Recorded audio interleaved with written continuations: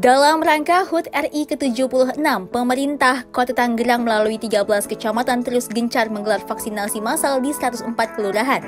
Salah satunya Kecamatan Karawaci yang membuka sentra vaksin 16 kelurahan di Mall Icon Walk Cimone dari tanggal 9 hingga 14 Agustus 2021.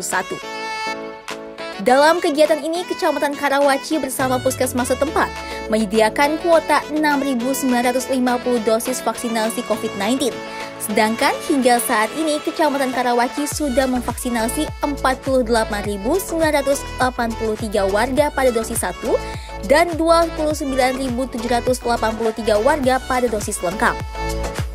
Pada pekan ini, pekan kedua di Agustus, kami Kecamatan Karawaci bekerja sama dengan empat puskesmas yang ada di Kecamatan Karawaci, didukung 16 kelurahan yang ada, kami sedang mengadakan gebiar vaksin kemerdekaan menyambut kemerdekaan HUT kemerdekaan RI ke-76 di tahun 2021 ini.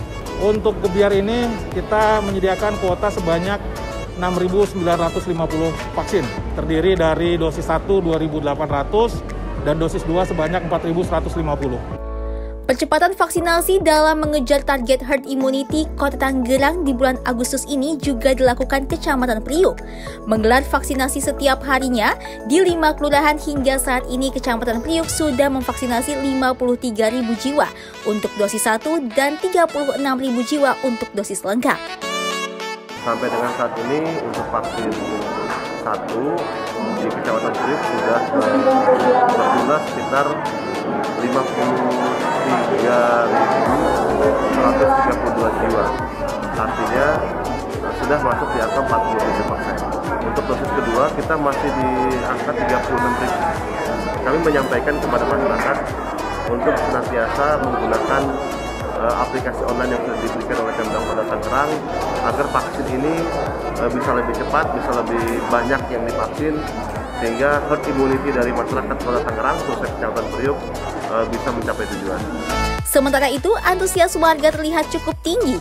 Tak sedikit dari mereka menuturkan tanggapannya terkait masih saja banyak warga yang tidak percaya atau tidak ingin divaksinasi. Karena kan lagi marak-maraknya COVID, jadi saya juga udah kena kena waktu Desember kemarin. Jadi saya ingin membentengin diri saya supaya Eh, nggak uh, merasa terkena COVID kayak dulu lagi lah karena pengalaman Desember kemarin. Uh, pelayanannya baik sih mbak ya. Uh, saya datang langsung uh, apa dilayani dengan baik, terus uh, langsung divaksin.